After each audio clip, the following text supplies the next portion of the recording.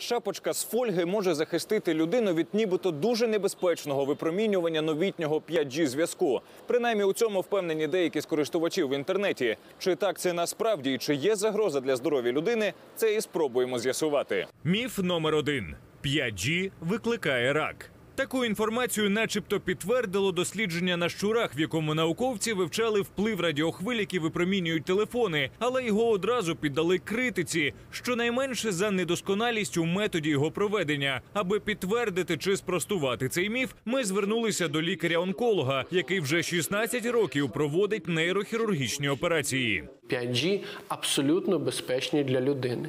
Тому наближені чи віддалення від вишки 5G ніяким чином не впливає на здоров'я. Зокрема, інформація про те, що якимось чином впливають на тканину мозку, передають якусь інформацію або щось блокують, це неможливо, тому що наш головний мозок не може розпізнати 5G. Міф номер два: 5G погано впливає на здоров'я, бо для передачі даних потрібна велика кількість веж. Саме через це інтернетом поширювався заклик руйнувати вежі 5G, а люди виходили на численні акції протесту в різних куточках світу. Stop 5G! Stop 5G!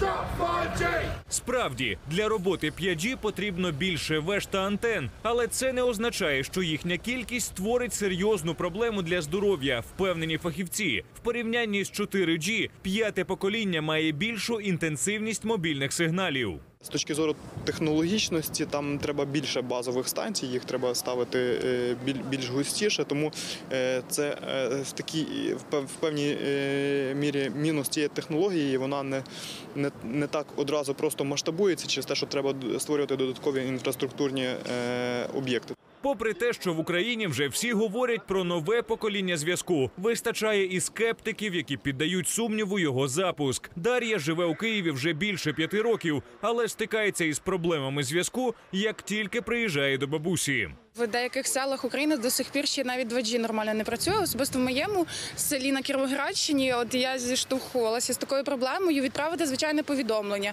Доводилося не знаю на город бігти, шукати хоча б якийсь інтернет. Там на грушу треба було залізти, аби відправити повідомлення. Натомість в міністерстві цифрової трансформації кажуть, що згодом зв'язок з'явиться і там. Запускати надшвидкісний інтернет будуть поступово, і спершу він з'явиться на локальних підприємствах та великих містах. В інших населених пунктах і можливо навіть будуть покриватися власне і там поля, тому що так само технологія доступна і корисна для використання дронів. А українські сільгоспвиробники вже починають активно користуватися такими просунутими технологіями. 5G повинна працювати на певній частоті, яка нині в Україні елементарно зайнята телебаченням та військовими. Тому зараз розробники думають над тим, як її звільнити. Андрій Штангрет, Артем Шпортун та Ярослав Олінічук для Апостроф ТІВІ.